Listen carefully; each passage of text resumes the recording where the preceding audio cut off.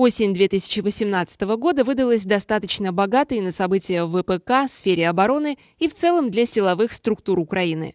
Не все они были для нас успешными, не все идет как по маслу, но есть несколько интересных тенденций, которые будут задавать тон в военном строительстве в ближайшие месяцы. Потребности наших вооруженных сил и подразделений МВД все еще финансируются на 60-65% от запросов, а сами ведомства крайне нуждаются в подготовленном персонале – даже по планам на курсах лидерства в Десне, 197-м или 202-м центре и по различным программам ВС США, Британии и Канады в 2018-м планировалось обучить почти тысячу сержантов. Например, в Штатах сержантских и старшинских должностей в ВСУ примерно 50 тысяч. Калькулятор в помощь, когда придется перестать плакать в Твиттер по поводу качества подготовки. Поэтому, когда вы заламываете руки о том, что кругом в армии некомпетентные специалисты и людям, пришедшие на заработки, не забывайте о плановых темпах реформ при помощи трех стран Большой Семерки, их инструкторов и их бюджетов. Понимать процессы и ту глыбу задач, стоящих перед нами, станет гораздо легче. Прежде всего, с передачей 16 танков Т-64БВ и Т-80 можно с уверенностью говорить, что начался процесс стандартизации, унификации и модернизации бронетанкового парка Украины. Похожие машины мелькали на параде в честь Дня независимости и на одной из передач в 2017 году. Теперь параллельно с модернизацией в строевых частях это уже базовая комплектация с завода, что не может не радовать. Убран осветитель «Луна» и установлены дополнительные блоки динамической защиты. Интегрирован прицел с тепловизором от Триман. Двигатель прошел капитальный ремонт. Установлена цифровая защищенная радиостанция и комплект спутниковой навигации. Танки получили возможность выполнять задачи ночью, применять управляемые ракеты, работать передовым командным пунктом, в целом увеличили боевую эффективность и скорость реакции на угрозу. Называть точное количество, пока его не обнародовали в СМИ, мы не будем, но речь идет о батальонах, а не о штуках.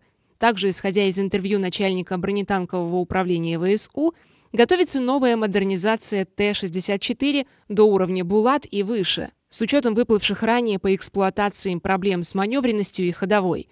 По-видимому, существующая модификация Т-64БВ 2017 года промежуточная, и на ее основе будут дальше улучшать ходовую, устанавливать новую динамическую защиту, работать над МТО и ремоторизацией. Несмотря на предвыборные бредни политиков о том, что мы продаем современные танки за границу, в Таиланд и Африку, пока сами ездим на снятом с хранения старье, реальность немного другая. И дело даже не в том, что начали, наконец, долгожданное производство оплотов для ВСУ, когда еще эта рота достигнет операционной готовности, да и повлияет она на ход боевых действий чуть более чем никак – это скорее дотация для завода и попытка удержать коллектив на плаву до того момента, когда рост экономики даст возможность перевооружаться быстрее. А вот то, что для каждого из типов БТТ, состоящих на вооружении в ВСУ, разработана модернизация и ее активно внедряют в войска, заказывают танковые управляемые ракеты, переводят в цифру связь, ведут работу над заменой орудий, выработавших свой ресурс, Танки снаряжают тепловизорами. Невозможно не заметить, если ты не окончательно поехавший на предвыборных лозунгах фрик. Противотанковое вооружение – увеличение передачи противотанковых ракетных комплексов на порядок. Только на День независимости было передано 75 комплектов. Вполне вероятно, что за 2018 год ПТРК «Корсар» и «Стугна» уже перевалили за полторы-две сотни единиц – если помните, заказах для НГУ и пограничников, и информации в открытых источниках о скорой отгрузке еще 70 единиц до конца года. Это серьезные цифры, и практически в каждой батальонно-тактической группе механизированных войск, у десантно-штурмовых бригад и морской пехоты уже есть подразделения с новым противотанковым вооружением. Отгрузки шли и в 79-ю, и в 93-ю, и в 36-ю, и в ССО, и в учебные части. В 184-м НВЦ в Старычах на базе 356-го учебного полка развернута школа операторов «ПТУР» с полосой лидерства, учебным классом с тренажерами, полигоном для практических стрельб, активно готовит операторов.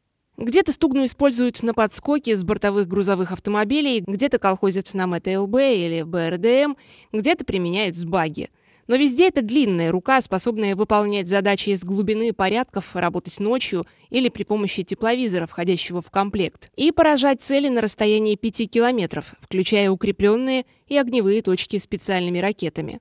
Корсар позволит пехоте на передовых опорных пунктах противостоять бронетехнике противника, за счет мобильности работать в ССО. Кроме того, с массовой закупкой отечественных комплексов увеличивается плотность постсоветских фаготов и конкурсов, что в целом сказывается на стойкости и живучести противотанковой обороны. Ну и новый финансовый год в США. Уже готова очередная партия «Джевелин» для Украины до 70 пусковых и 500 ракет до конца 2018 года. Это не фантастические планы. По всем ведомствам уже 400-450 переносных противотанковых комплексов. Причем за 2018 получено больше, чем за все годы до этого. Это не просто рост производства, а целенаправленная программа перевооружения с капитальными инвестициями и взаимодействием по запросам с партнерами на Западе. Кроме того, ведут работу над противотанковыми машинами на шасси БТР-3, Варта Новатор, Казак, программой по оснащению штурмов С барьерами, которые смогут доставлять тандемные головы на расстоянии в 7 километров. Совсем недавно завершились очередные стрельбы барьером В с геликоптера Ми-8 МСБ, но заявлена адаптация и под крокодилы Ми-24. Постепенно модернизируя ударные вертолеты до ночных модификаций и адаптируя их под применение высокоточных ракет – мы получаем хороший задел для борьбы с бронетехникой противника в случае маневренной фазы. Используя штурмы Ми-8 МСБ, Ми-24 и массируя мобильные ПТРК команды, вполне возможно решать уже даже оперативно-тактические задачи. Для невоенных можно проиллюстрировать эту концепцию, как с рубежа в 5-7 километров, невзирая на туман, сумерки или применение маскировочных сеток, душить все, что шевелится на линии боевого соприкосновения, не давать танкам и бронемашинам противника выходить на оперативный простор и быстро уходить в глубину, избегая ответного огня. Не только пресечение попыток вклиниться между взводными опорными пунктами или лобовых танковых атак, но и как способ размотать ДОТ или огневую точку, отсечь с фланга подкрепление, обрезать снабжение и поддержать наступление механизированных войск на широком фронте. Также хватает новостей о высокоточном вооружении – испытаний отечественных БПЛА «Камикадзе» с кумулятивными зарядами, доработки боеголовок к локализованным польским БПЛА до 4,5-5 кг боевой нагрузки и крайне многообещающий контракт с турками по среднему ударному беспилотнику «Байрактор ТВ-2». Аппарат активно применяют в боях с исламским государством и курдскими повстанцами. Более 40 комплектов работают в турецкой армии, полиции и жандармерии – у нас, естественно, альтернативно развитые сразу же принялись петь песни о ПВО России на Донбассе и то, что нет точек приложения дорогущего комплекса, хотя нет еще ни подробностей о цене за единицу, ни локализации, ни вооружений. Так вот, тут есть некоторые нюансы. Основное ПВО корпусов – это стрелы, осы АКМ и ПЗРК. Да, фиксировалось применение торов и боков, но эпизодически. И после регулярного мониторинга стратегическими беспилотниками США резко пошло на спад. Эффективная дистанция огня стрел и ос от 5 до 10 километров, но они не находятся в передовых порядках. Из-за угрозы прилета мин и ствольной приходится располагать их в глубине, хорошо маскировать и прятать в капонирах. Управляемые ракеты и корректируемые бомбы «Байрактор ТВ-2» эффективны на расстоянии 8 километров – и выходит, что турецкая машина будет в зоне поражения считанные секунды. Попробуй разбери на фоне регулярного пролета квадрокоптеров с кустарными бомбами, разведчиков и корректировщиков огня, баражирующих вдоль линии соприкосновения, по кому нужно стрелять здесь и сейчас. Было бы это легко, не было бы десятков подтвержденных вылетов с ударами по опорным пунктам ЛНР и ДНР. В идеале в обозримом будущем украинские войска построят единый разведывательно-огневой контур, где контрбатарейные радары, беспилотные аппараты и РЛС будут выдавать общую картину происходящего, а БПЛА «Камикадзе», дежурные и поднятые катапультами ударные, выполнят наряды на поражение вскрытых целей. Особенно хорошо будет заходить по командно-штабным машинам, расчетам тяжелого вооружения, грузовым автомобилям на последнем километре во время разгрузки снабжения – Засек, пометил цель на планшете для артиллерии или направил дрон по срочной цели, оставил заявку для баражирующего противотанкового аппарата. И опять же никуда не девается риск размена. По взлетевшим ракетам может прилететь пакет от реактивщиков. Мы потеряем дрон, а противник – подготовленный расчет ПВО, штучных специалистов. Камень, ножницы, бумага. Вот только вариантов больше и правила сложнее. Есть значительные подвижки в ПВО – Стрельбы на полигоне Егорлык подтвердили заявленные производителем характеристики ЗРК С-125М1.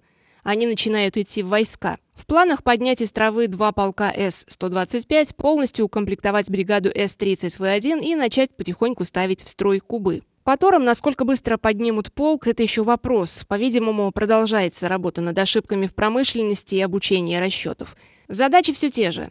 Эшелонированная оборона и большее количество каналов, чтобы отразить одновременный пролет «Искандеров», удар бомбардировщиков и штурмовиков. Противник может пробовать шатать, например, южный фланг ООС синхронно вылетами из Крыма и ударами из-за границы. Одновременный ночной налет под прикрытием самолетов и вертолетов РЭП – спусками 30-40 ракет, пакетами РСЗО по второй линии Земли и включением станции самоприкрытия в воздухе. Здесь понадобится именно количество каналов, чтобы перехватить максимум целей с условием, что часть комплексов будет подавлена, часть уничтожена, часть отключит станции наведения и кругового обзора – Поэтому модернизация С-125М с увеличением почти вдвое высоты и радиуса поражения. Поэтому сопряженные пуски с единого командного центра и запуски оцифрованной осы на фоне пусков С-300В1.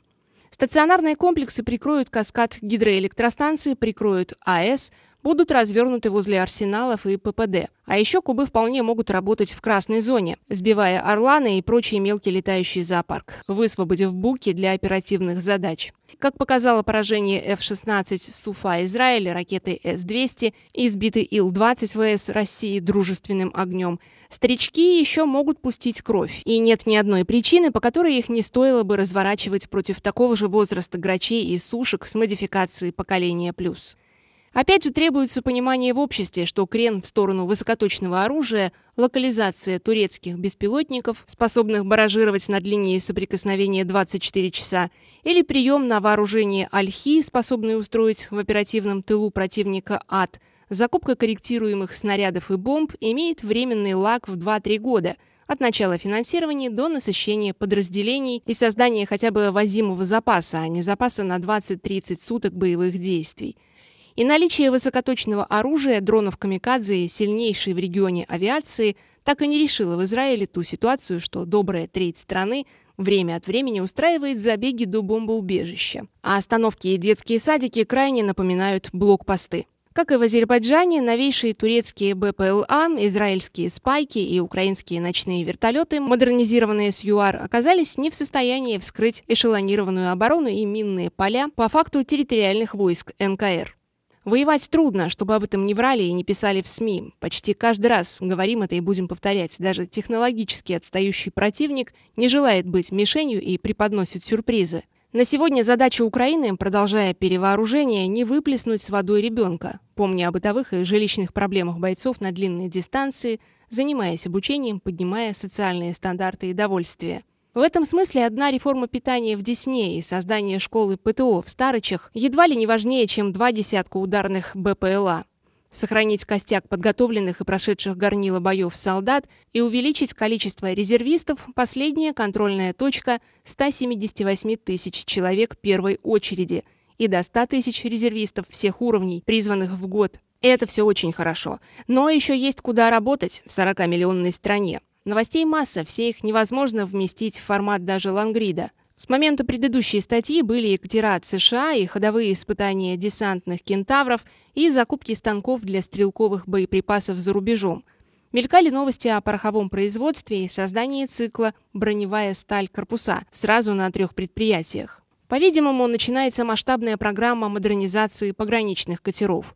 Мы растем, прогрессируем, продолжаем так давно назревшую реформу вооруженных сил.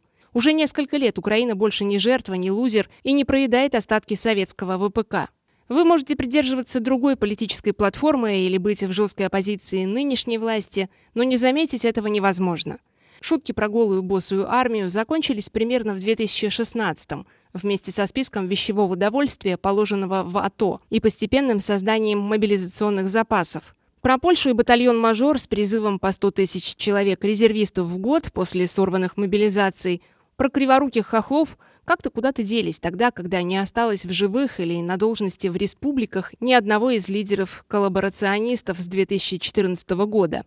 При нашей жизни закончатся шутки про первую армию Европы и остальной дежурный понос при слове «Украина».